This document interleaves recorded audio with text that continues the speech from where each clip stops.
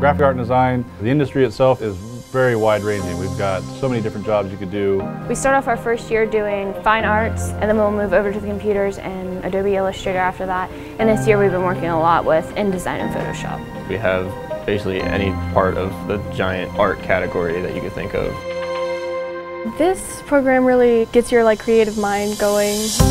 We're so driven in this lab. I tell students that uh, even if you're not sure about this career as a graphic artist, these are skills that somebody's going to say, hey, that's valuable. That's something that can put you above another applicant. I've done logos, I've done election signs, I've done banners, basically anything you can really think of already from one year's learning and one year's experience. We do logo designs. I have them come up with their own business and they make a logo for it. I'll have them do movie posters based on the real poster. They'll recreate it using their own photography. We do so many fun projects. I've learned so much from the beginning of junior year to this year. Like I can tell like a huge difference in my art. To me, it's all about creativity and express yourself in any way that you want. We can do it in fine art, we can do it on the computers. We get into video production, we get into animation. We also learn photography using DSLR cameras. And the variety is the best part. I love that about what we do in here. Every day it's something different. Every day you learn something new. It's crazy how all of us can take this in completely different directions. There's a few of our juniors that want to be makeup artists and to where other people want to do graphic arts and game design. I really want to make video games really bad. This program,